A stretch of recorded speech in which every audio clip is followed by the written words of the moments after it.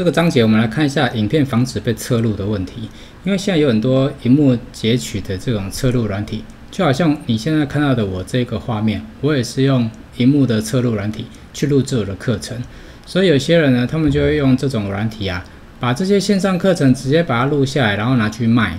那我们如果说要去防止这个侧录软体的使用的话，那市面上有这么多软体，你每一个都要去防止，那实在是太难了。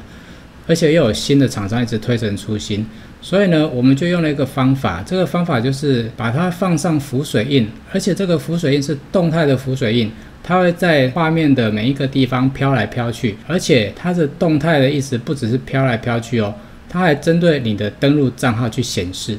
譬如说，我现在来播放这个影片。大家好，我是陈万里，来自于桃园东区永。因为你有看到刚刚出现的这个红色的字吗？仔细看哦。我跟白金分会。刚刚在上面是不是有出现？代表的专业类别是消防工程业。从二零一五年开始使用 BNI 平台，至今四年。BNI 让我与会员建立了长期有意义的信任感与合作关系。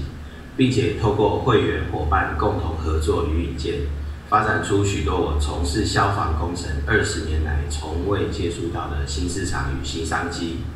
也因此，在这四年里，我的公司营业额每年以平均百分之十五的增幅成长，并且从一家区域型的消防工程公司发。好，你刚刚看到这串红色字啊，前面就是写了我的名称，然后还有我的登录的 IP。然后最后呢，最后则是我的电子邮件。那我们在后台可以去设定动态浮水印的颜色，还有它的透明度，让它以尽量不干扰整个画面为原则，每隔几秒钟呢就出现在影片里面。这样子不管它用什么侧录软体侧录下来。